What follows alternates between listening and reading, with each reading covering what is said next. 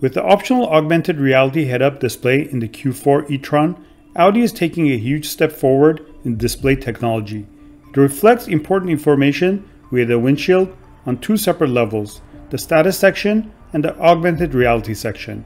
The information provided by some of the assist systems and the turning arrows of the navigation system, as well as the starting points and destinations, are visually superimposed in the corresponding place on the real life outside world as content of the AR section and displayed dynamically. They appear to be floating at a physical distance of roughly 10 meters to the driver. Depending on the situation, they appear further ahead in some cases. The driver can understand the displays very quickly without being confused or distracted by them, and they are extremely helpful in poor visibility conditions.